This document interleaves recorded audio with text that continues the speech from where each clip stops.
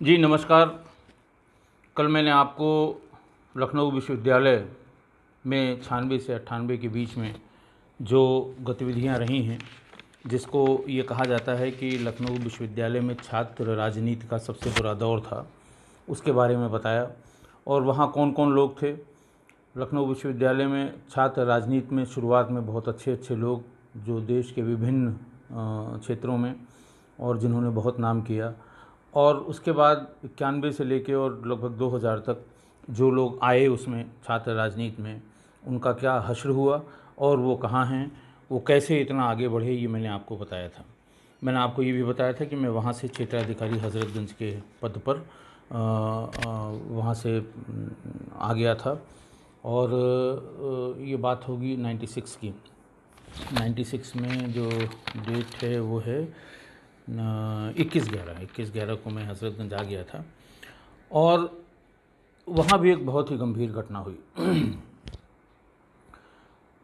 ला मार्टिनियर का नाम आपने सुना होगा, लगभग 170 साल पुराना ये एजुकेशनल इंस्टीट्यूट है, ब्रिटिश पीरियड का है। और ला मार्टिनियर स्कूल बॉयज़ और गर्ल्स, बॉयज़ की बिल्डिंग बहुत बहुत ही शानदार बिल्डिंग है। कहा यह जाता है कि ये फ्रेंच जो आर्किटेक्ट था उस तरह का बनाया गया है और उस समय जब भी ये बनाया गया था, कुल तीन बनाए गए थे लामार्टिन स्कूल। एक तो लखनऊ में था, दूसरा कलकत्ता में और तीसरा फ्रांस में कहीं पर बनाया गया था। बहुत ओल्ड लिगेसी है और बहुत से इस समय हिंदुस्तान के तमाम विभिन्न क्षेत्रों में यहाँ के पास आउट लोग बहुत अच्छी अच्छी जगह पर है। सात मार्च सत्तानवे के दिन सुबह साढ़े छः बजे, बैचलर्स हॉस्टल है ला मार्टिनियर कॉलेज के कैंपस में ही। बैचलर हॉस्टल में वहाँ का एक एसोसिएट प्रोफेसर जो जो असिस्टेंट वार्डन भी था और फ़िज़िकल ट्रेनिंग इंस्ट्रक्टर भी था, फेडरिक गोम्स। वो अपने हॉस्टल के उस कमरे में लेटा हुआ था। पीछे की तरफ़ जो दरवाज़ा था, उसमें शीशा लगा हुआ था। किसी ने आके उस शीशे को तोड़ा, तोड़ के उसके भीतर गोम्स को एम करके गोली चलाई। गोम्स ने आगे का दरवाज़ा खोल के भागने की कोशिश की, आगे दो लोग और थे। फिर वो पीछे की तरफ़ भागा, भागने के बाद उसने दरवाजे पे चेयर भी लगाई। लेकिन फिर पीछे से जो शीशे का टूटा हुआ भाग था उसमें से उसके ऊपर कुल 18 गोलियाँ मारी गईं। 18 गोलियों में आठ गोलियाँ गोम्स के, फेडरिक गोम्स के शरीर में लगीं। पड़ोसी जो उनके थे, टीचर थे, वो भी, वो बेचारे डर के मारे कुछ बोल नहीं पाए। गोम्स का जो रूटीन था, वो बड़ा बड़ा सेट था। लगभग साढ़े पाँच बजे उठता था वो। उस समय जो उसके स्पोर्ट्स के और जो स्टूडेंट्स वो मैदान में आ जाया करते थे। साढ़े पाँच बजे वो घूमने जाता था, उसके पास दो एलशीशन कुत्ते थे। कुत्तों का और मोटरसाइकिलों का शौकीन था, बहुत ही स्ट्रिक्ट था और हॉस्टल का वार्डन भी था। सभी लोग पहुँचे, मैं सर्किल ऑफिसर था, उस समय शैलजाकांत मिश्रा साहब हमारे डीआईजी थे, रजनीकांत मिश्रा साहब एसएसपी थे। सभी लोग वहाँ पहुँचे, बहुत गंभीर घटना थी। पूरे शहर में कोहराम मच गया। और जो एल्टन डिसूजा उसके प्रिंसिपल थे, उनको बुलाया गया कि आखिर क्या बात हुई थी, उनकी जानकारी में क्या क्या है, इससे किसकी रंजिश थी।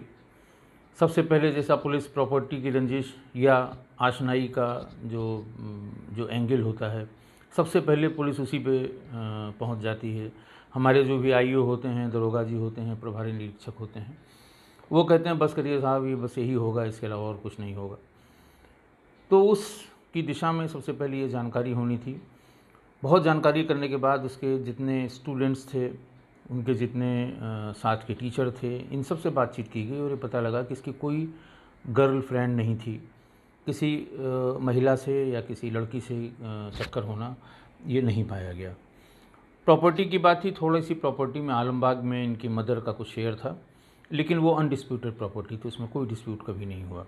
ये दो चीज़ें रूल आउट हो गई।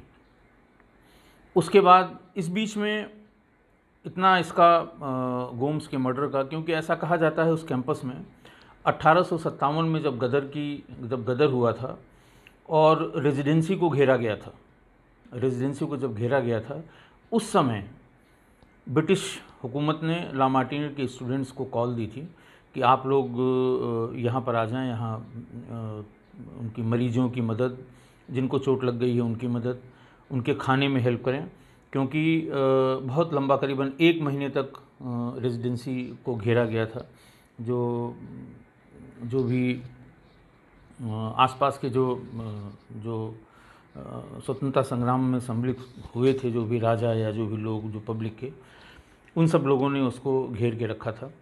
और उन उनहत्तर बच्चों में काफ़ी जख्मी हुए थे बच्चे और कुछ का देहांत भी हुआ था।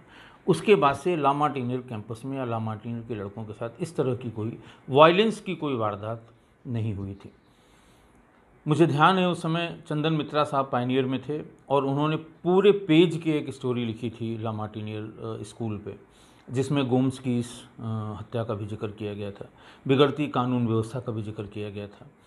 एक दिन और इसी तरह से मुजफ़र अली साहब ने एक पेज का पूरा अपने मेमोर लिखा था वहाँ के बारे में और ये लिखा था कि वहाँ के पास आउट लोग कहाँ कहाँ हैं और ऐसा क्यों हो रहा है इस कैंपस के भीतर? और गहराई में जाने पे ये पता लगा कि फरवरी में आ, कोई सूचना मिली थी इसको गुम्स को कि हॉस्टल में किसी लड़के के पास पिस्टल है। जैसा मैंने पहले कहा बहुत स्ट्रिक्ट था और उसका बड़ा भय था पूरे कैंपस में। उसने सारे दरवाजे बंद करा के और चेक कराना शुरू किया। रूम्स में चेक करते करते एक लड़के के कमरे में एक एयर पिस्टल मिली, जिसको पॉइंट टू टू की पिस्टल में कन्वर्ट करा लिया गया था। और जिस लड़के के पास मिली, उसने ये बताया कि दो महीने पहले उसने स्थानीय रूप से किसी से इसको पॉइंट टू टू की पिस्टल में कन्वर्ट कराया था। इस कन्वर्ज़न के बाद वो करीब दस लड़कों के पास गई, दस बच्चों के पास गई होगी, उन सब के नाम आ गए। उनको सबको बुला के हज़रतगंज कोतवाली में इंट्रोगेट किया गया। इसके लिए अलग अलग टीमें भी बनी।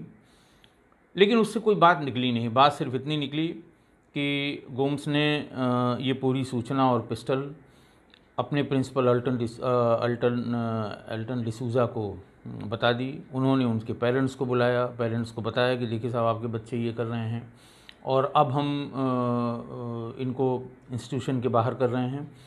चूँकि इतने दिन पढ़ा है इन्होंने तो ये सिर्फ़ एग्ज़ाम देने के लिए यहाँ पर आएँगे।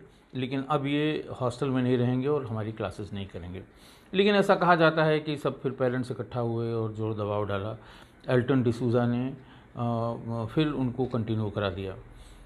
बार बार समाचार पत्रों में भी और तमाम ढेर सारे एन ने गोम्स की टीचर्स ने ओब्रायन करके एक एमएलसी थे जो नॉमिनेटेड एमएलसी होते हैं। ईसाइयों की ईसाई संप्रदाय ईसाई समुदाय से। तो उन्होंने भी काफ़ी बड़ा एक प्रोटेस्ट वहाँ पर ऑर्गेनाइज़ किया। और वो बार बार यही कहते थे कि साहब प्रिंसिपल थोड़ा सख्त होता है प्रिंसिपल ने ध्यान दिया होता तो हमारे एक टीचर की जान बच जाती। अगर उस समय कोई कड़ा डिसीज़न हुआ होता तो इसकी जान बच जाती। रजनीकांत मिश्रा साहब एसएसपी थे, हर दिन उसको रिव्यू करते थे। हम लोग बहुत परेशान थे कि आखिर ये ऐसा हुआ क्यों? धीरे धीरे पता करते करते करते करते पता ये किया गया कि उसमें एक लड़का था जो बड़े घर का था जिसकी माता जी सोनाम धन्य माता जी एक बहुत बड़े परिवार से संबंधित थी।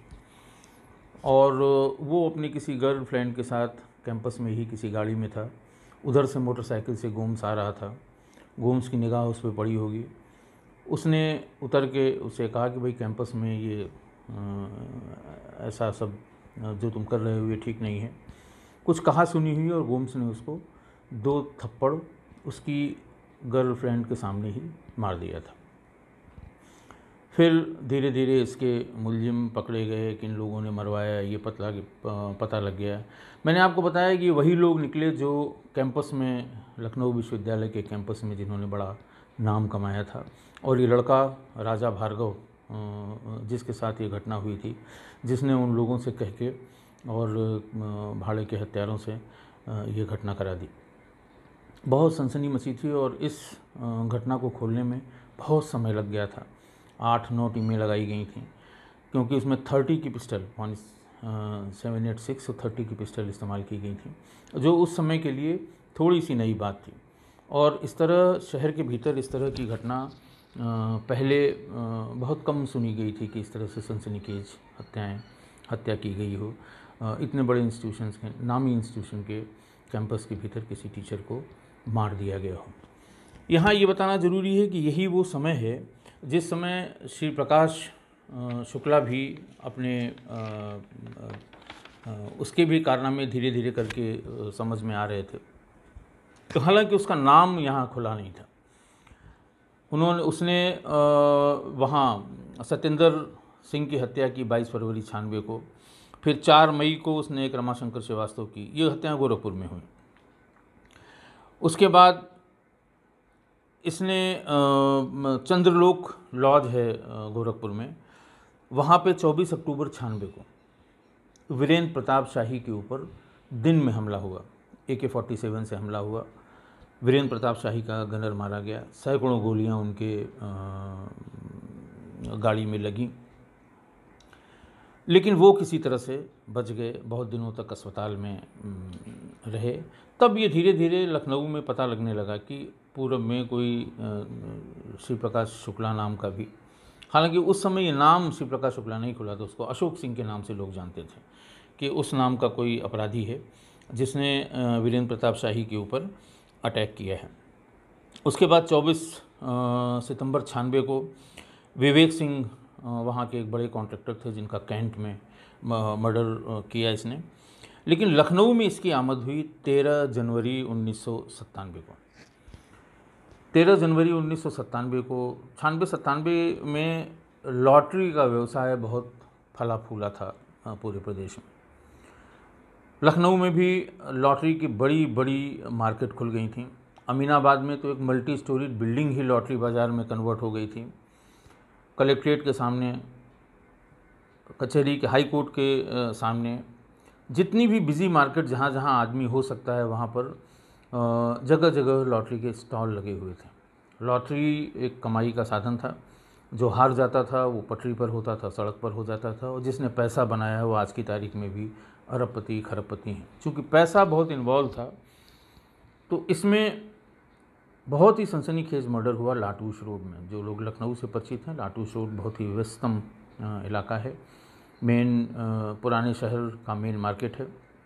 अमीनाबाद से जो निकलता है, वहाँ पर उस समय के सबसे बड़े लॉटरी व्यवसायी विवेक श्रीवास्तव को शाम को, जब वो, विवेक श्रीवास्तव का लॉटरी का एक वो बहुमंजिली इमारत थी जिसमें सारे लॉटरी के डीलर्स लॉटरी से संबंधित सारा आ, काम वहीं पर होता था।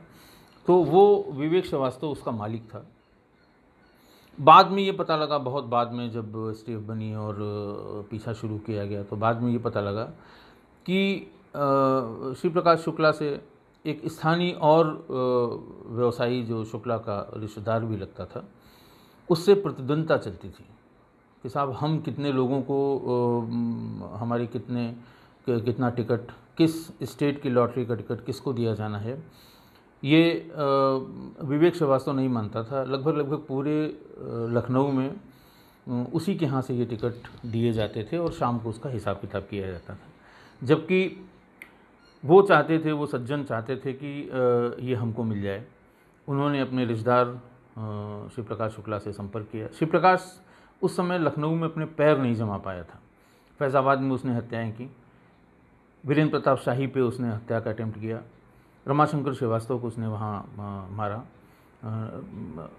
गोरखपुर में। गोरखपुर में चार पाँच सनसनीखेज हत्याएँ करने के बाद वो धीरे धीरे लखनऊ की तरफ़ कोशिश कर रहा था कि रहने की जगह मिल जाए, कुछ काम हो जाए। तो उसे पहला काम ये विवेक श्रीवास्तव का मिला लॉटरी व्यवसायी को मारने का।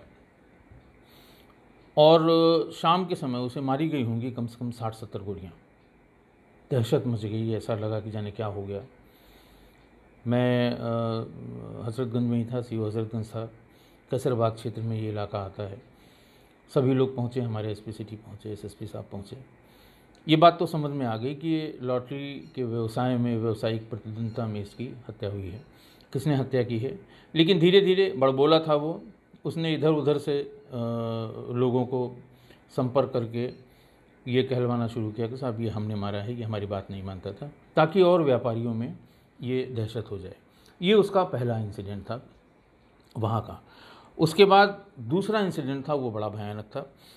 इकतीस मार्च सत्तानवे को इंदिरा नगर में बच्चों का एक स्कूल है, और इकतीस मार्च को उसका रिज़ल्ट डे था। उस दिन करीब करीब ढाई तीन सौ बच्चे और लगभग इतने ही उनके पेरेंट वो रिपोर्ट कार्ड लेने के लिए आए हुए थे। थोड़ी देर में तीन व्यक्ति आए, एक महिला, एक छोटा बच्चा और वीरेंद्र प्रताप शाही। ये तीनों लोग उस स्कूल के बाईं तरफ़ से निकल के दाहिनी तरफ़ किसी मकान में पैदल ही जा रहे थे। अचानक पीछे से उसे गोली मारी गई। ये गोली श्री प्रकाश ने मारी थी। वो सिर के बल गिर गए।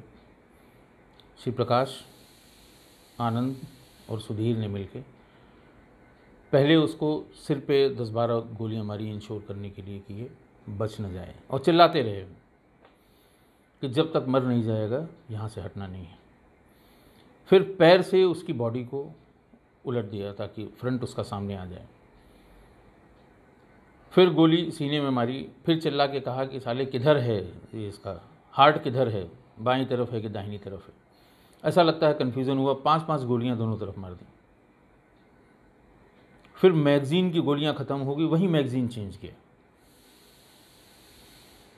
फिर बोला, ये बहुत घूर के देखता था, उसकी दोनों आँखों में गोलियाँ मारी।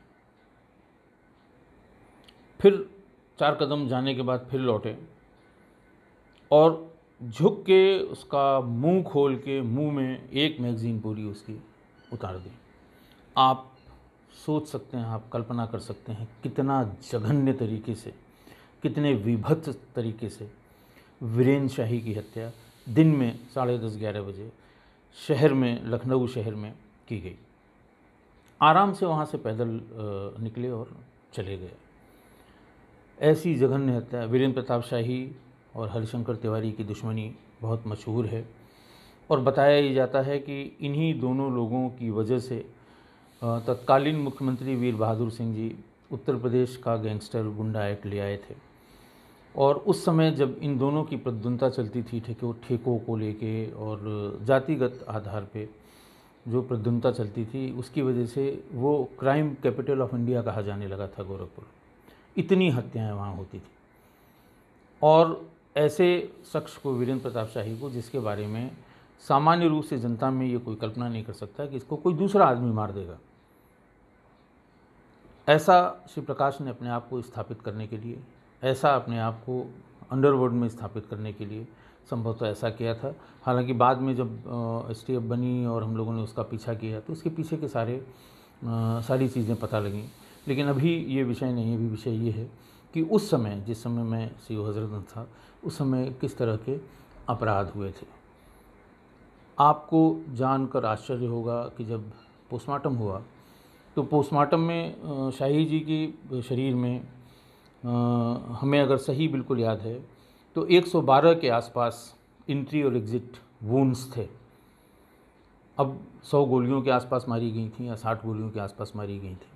ये कहना तो मुश्किल है। इतने इंट्री और एग्ज़िट वून थे। दिन में इतने लोगों के। बताते ये हैं कि उस समय कुछ बच्चे तो इतने दिन तक शौक में रहे, क्योंकि उनके सामने कुछ बच्चे रिज़ल्ट कार्ड लेके निकल रहे थे, कुछ बच्चे रिज़ल्ट कार्ड लेने जा रहे थे अपने पर। कुछ पेरेंट्स उनके साथ थे, चूँकि वो किंडर गार्डन टाइप का स्कूल था। बच्चे बहुत छोटे थे पेरेंट्स भी उनके यंग थे।